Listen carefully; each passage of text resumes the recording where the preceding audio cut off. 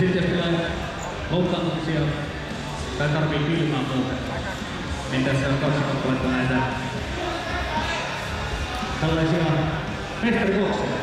Siinä on sitten kylmäkohtauksia haikkuuttamaan näihin kömpäreihin, mitä vaan ottaa käyttöön vapaasti. Ja sanotaan tässä näin, katsokaa vielä sitten voittoon, Tappaa Ruoaniminen. Mikko Takala.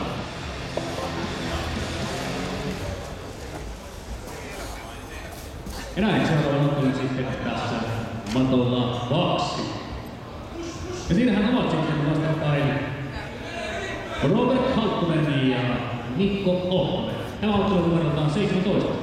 Valmistautuu ottelu numero 18, Ville Hyvänen ja Paulus Nivala. Ja tällä saadaan taas voittaja sitten myös Satu vanha mies kerkeä matolla kolme. Niin näin että ja kuittaa itsensä ja on numero 16.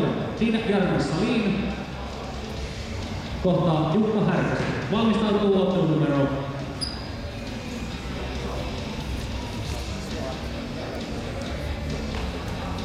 Tehti menee tarkastaa numero numero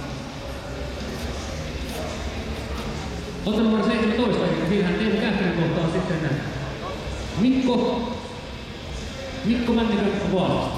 Mutta ensin ottelu numero 16. Ja sen jälkeen 17.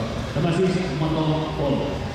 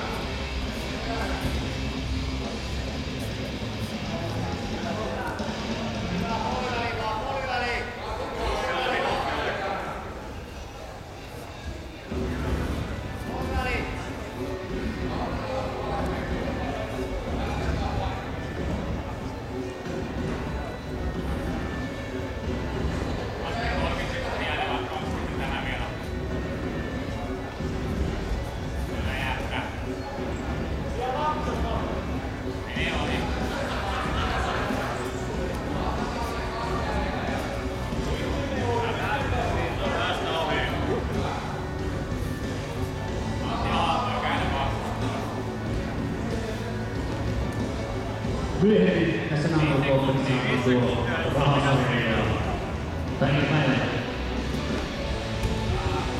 Eilähän ADC tuli vain 300 euroa rikkaampana lähti kotiin.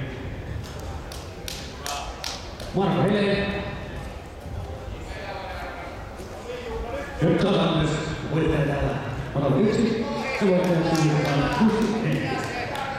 Ja seuraava